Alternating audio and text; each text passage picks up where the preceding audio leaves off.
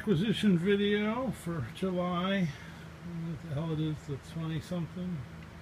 Anyway, some of this I had uh, coming from one of my friends, picks for me, and some of it uh, I got today. Um, this little, um, it's a uh, Grundig. I got these for sale. If anybody wants them, 10 bucks plus shipping.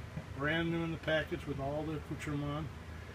And uh, they're pretty cool, but my buddy's got like six of them, I think, five or six of them, but only sell for about 15, 20, but 10 bucks if anybody wants one. And uh, I got uh, today, uh, oh, I got this in the mail Tuesday, and uh, this is from my buddy Ernie, and uh, uh, turned out real nice. He had heard that I had missed out on what the flea and the guy was fucking with me, and so he sent this as a gift, pay me back later, and I was lucky I was able to set up a deal where he's getting a door for his 5350 for a couple of reel to reels that I'm sending to Brazil from my buddy. So that kind of pays for this. So nice. Uh, send a nice TEAC yellow reel to reel, so the guy's gonna be very happy. So that's a 5005. That was nice. So. And then um, a buddy who picks for me, he got this uh, Panasonic half box, which is pretty clean. I can't remember what I, I think I paid 10 or 15 from him and he was messing with me, showed me a photo of this, and I was so upset. He's like, "Oh, I missed out." I said, "Should I bought this?" It is so cool. It's a slicker GPX. Really like that. And then uh, he also got another four pack of uh, cassettes. Now I got two of these uh, uh with the Japanese text. Four pack of Sony. Unopened, very nice. And he got this great Panasonic Dicta memory function voice activated recorder, but uh, I don't think it's got a radio in it, but it's pretty nice, and I'm sure it's kind of fairly rare.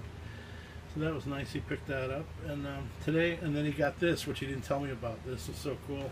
I've seen these once before, and could never really been on them. Panasonic little, I think it's a clock radio.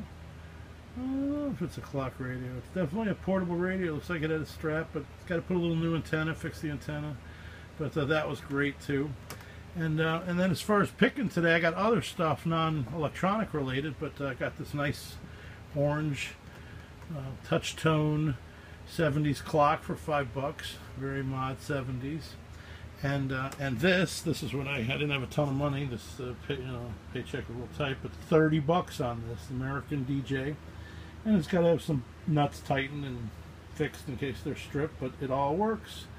So immediately when I bought that, this young DJ is like, I'm a DJ, I could use that. So kind of cool. My buddy Ed Allard, uh, he has a Halloween party, so I'm going to let him borrow this. And I got some other Prism lights. He likes to have the disco kind of thing going in the basement, but hopefully he'll he'll need to borrow that. It would be nice to get to use it because uh, pretty funny.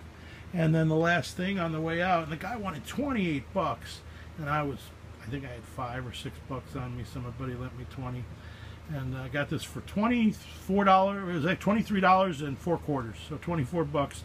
But he was determined, and, and he cranks it up, and it sounded like shit. So, anyways, but it's a nice Sears, and it's a uh, shortwave, so fairly rare, a little dinked up, but I like it. It's got the the orange in the handle. So that's my acquisitions, getting a little long in the tooth, blah blah blah. And I got these other four radios that I'm figuring out whether my buddy Ernie wants or Gonna have them lit up, but uh, might be available in case nobody else wants them. And you already saw my 100 boombox video, so there's a few in there that people might want. And anyways, enjoy. It was a great week or two.